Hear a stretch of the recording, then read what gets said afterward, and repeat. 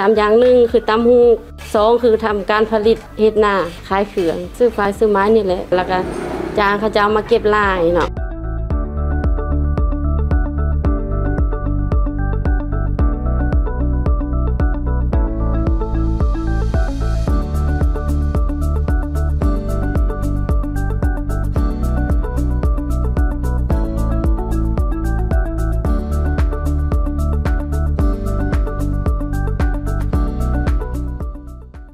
อันข้าพเจ้านางศรีอุติยะเนาะเป็นประชาชนของบ้านพนทองที่กู้เงินมาแล้วแม่นมีอันหนึ่งตำฮูกสองละไปทำการผลิตสามละมาขายเครื่องย่อยอยู่ในเฮือนมีสามอย่างเจ้าก็แห่งจูงใจนี่กาความคิดเฮาว่าตะกี้หันแบบว่าเฮาตำฮูกแบบว่าอันลายมันจะต่ำราคาเนาะแล้วมีแห่งจูงใจว่าทางอันเพิ่นนี้แนะนำว่า สินมันมาใหม่เนาะแล้วเฮาจะได้ใส่ทุนเอกใจแล้วว่านี่ละได้ยินร้านสาวหันว่าว่าสร้างทางสสถาบันเพิ่อนให้กู้เงินดอกเบี้ยต่ำแล้วทางเฮาก็ไปเสนอ เสนอทางสถาบันเพิ่นละให้กู้มาดอกเบี้ยต่ำ1%เปอร์เซ็นต์เนาะทางเฮากู้เงินมามันมันมีสามรายการเนาะที่เฮามาสร้างในครอบครัว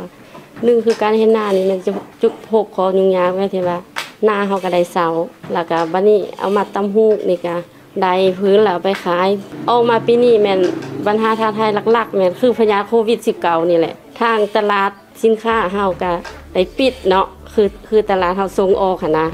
เราการขายเฮาก็แบบว่าบ่บ่อยากคือแต่ละปีหันนะว่าว่าส่งออกส่งได้เรื่อยๆ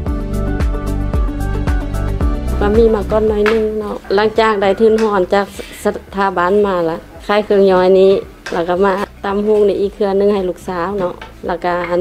เฮ็ดนาได้สามแนวแล้วก็อันนี้แหละลักๆก็แม่ตำฮูกนี่แหละ เพราะว่าเสนอกูไปก็ว่าเอามาทำการผลิตตำฮูกเลยขายเครื่องเสริมนำเจ้าอันอันนี้ก็ได้รับอันข่าวจากร้านสาวผู้เมื่อกี้เนาะแนะนำว่าทางสถาบันเฮามาอันโฆษณานำบ้านพ้นทองเฮาเนาะอันสิ่งหลักๆก็คือนายบ้าน ว่าผู้ใดอยากกู้เงินมาทำการผลิตบ่ตำฮูกให้แนะนำไปทางสถาบันและทางเฮาก็ออกไปหาทางเพิ่นเพิ่นก็ให้คำแนะนำเขียนฟอร์ม เขียนใบเสนอแล้วก็อันเอกสารครบทุกอย่างหั่นแหละเนาะมันก็มีฟอร์มเอกสารมาแล้วก็มาเซ็นในบ้านแล้วก็มีซื้อค้ำประกันแล้วจังไดทุนตัวนี้มา เจ้าแม่ละ สามอย่างหนึ่งคือตำฮูกสองคือทำการผลิตเฮ็ดนาขายเครื่องซื้อไฟซื้อไม้นี่แหละแล้วก็จางเขาจะเอามาเก็บลายเนาะอยากเชิญชวนผู้ใดที่สนใจ อยากตำฮูกเนาะเราบ่มีแรงทุนอยากขอแนะนำค่ะว่า ไปอันกู้เงินทางสถาบัน ทางเฮาอยู่กลุ่มน้องสะนี่เนาะล้วดอกเบี้ยเพิ่นกจิต่ำมีแต่1%ก่อนอื่นก็ขอขอบใจทางสถาบันใส่อุดมเนาะ แล้วก็ขอบใจทางกองทุน SME ที่นำทุนห่อนเป็นเงินข้ามมาให้พวกเฮาได้ลงทุนตำฮูก แล้วก็พาให้มีรายได้เข้าสู่ครอบครัวขอบใจหลาย ๆ